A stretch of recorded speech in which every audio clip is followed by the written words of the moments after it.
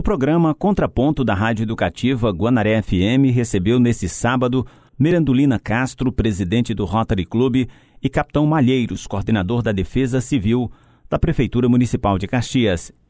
Em pauta a campanha Eletrolixo, promovida pelo Rotary Club, que vai acontecer no próximo dia 23 de janeiro.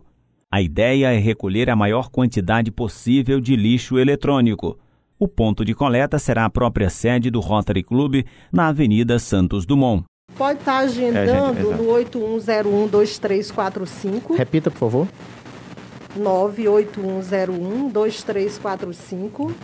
Pode estar agendando essa coleta. A campanha é desenvolvida em parceria com o Ecoponto, da Secretaria Municipal de Meio Ambiente e Defesa Civil.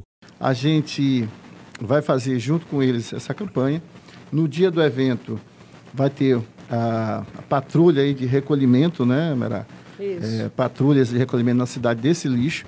Que fique bem claro que o lixo ele tem que ser um lixo completo. Não adianta o cidadão retirar a parte eletrônica e deixar só a carcaça, a parte plástica, uhum. para a gente recolher, que não é interessante, é, é, uma, é a peça completa. A campanha de coleta de lixo em parceria com a população de Caxias será dada continuidade após o encerramento da campanha em parceria com o Rotary Club, gerando conscientização da população sobre o destino correto do lixo e, ao mesmo tempo, fazendo com que a população ganhe prêmios.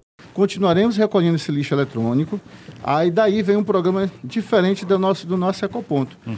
Todo esse material recolhido vai gerar um cadastro das pessoas que estão entregando.